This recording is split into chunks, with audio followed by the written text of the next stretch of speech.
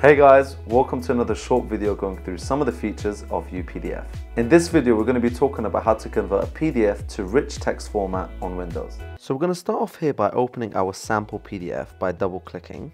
So once you've launched your sample PDF, you hover your mouse to the right hand side where these icons are available and you click on this one that sort of has these two circular arrows and it says export PDF. You click on that and you pick the correct format that you want. So in this case it's rich text format. So here we have several different options. You can turn on and off text recognition settings, which allows your document to appear as though it was scanned.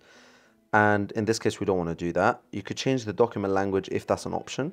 Then you could choose the page range as being all pages, odd pages only, even pages, or custom. In this case, you could choose a custom page range. So for example, from page 1 to page 10.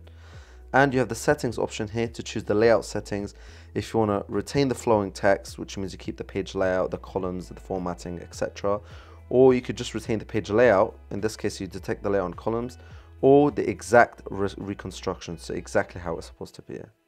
And you click on export, rename if you want to wish to rename, and then you could click on save. Thank you guys for watching. If you enjoyed this video, please leave a thumbs up and click on the subscribe button if you want to see more videos like this.